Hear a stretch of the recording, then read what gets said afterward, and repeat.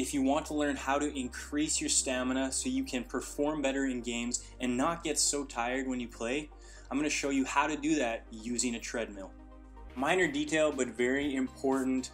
You want to make sure that your shoes are tied up nice and tight. You want to double knot your laces so they don't come undone. But most importantly, having a tight shoe that actually fits your foot well is going to improve your foot strike and it's going to help your running efficiency. Before any workout, especially before running, you want to make sure that you do a good warm up.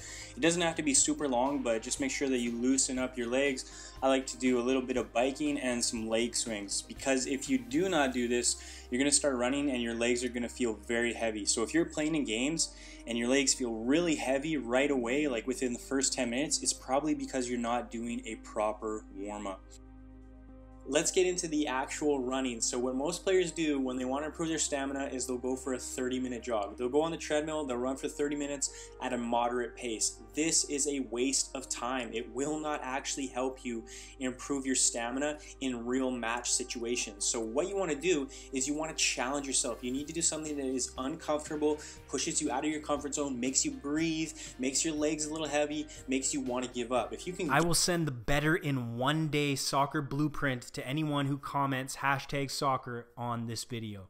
Get yourself into that state and work through that state. That's where you're actually going to improve your stamina. So this is what I do. I only spend 10 minutes on the treadmill, but I'll do this a couple times a week on days that I don't have uh, training or I don't have matches, I'll do this just for 10 minutes and it makes a massive difference to your stamina. So I'll just start out walking. First of all, I'll put it on about a 3.0 incline. This is supposed to help reduce some of the problems that come with running on a treadmill as far as knee problems. So put it at about a 3.0 incline. You won't even notice this, but it will help. Then I just start out walking. I start at about a three. So I'm just walking, and each minute I'm going to increase the intensity by one point. So after one minute of walking, I'll move to 4.0, which is about slow jogging. I'll work all my way, all the way up to about 11.0 on the treadmill, and I'm doing this just in about 10 minutes. So if you want to increase the intensity, start at about a four and work your way to a 12. But I think starting at a three and going to a 10 is a very good place to start. You will find it difficult, especially if you haven't done this before. Now, while I'm running, I'm just focusing on good running mechanics. I'm not counting down the seconds on the clock and hoping that it passes faster. I'm just focusing on my breathing. If you want to improve faster and achieve more this season, use the Soccer Success Planner. It's 100% free. Players all around the world have already used it to improve. You can download it right now. There's a link in the description below. And I'm focusing on good running mechanics nice arm pump, a little bit of a forward lean. Make sure that you're driving your knees forward. Your foot strikes are on the balls of your feet, not the heels of your feet, and really focus on having everything your body, your legs, your limbs, your arms moving forward rather than going side to side. The cool thing about running on a treadmill is you can really notice how efficient you are with your movement. Is everything traveling forward? Or are you waving and wobbling side to side?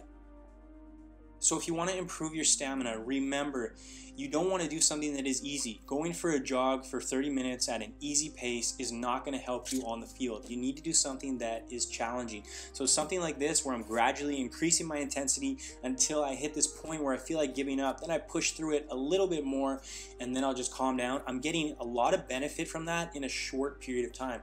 So the 10 minutes I spend on the treadmill are more valuable than someone running for an hour at a moderate and easy pace. So take these ideas if you want to start training on the treadmill, use it for yourself, and I guarantee you'll see some improvements to your stamina.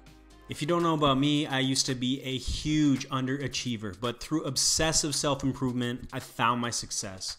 Earned a college scholarship, played for my national futsal team, a YouTube channel with over 100 million views. I've helped players worldwide, and I'd love to help you improve faster and achieve more. From moving up divisions to making national teams, players who use the Online Soccer Academy get results.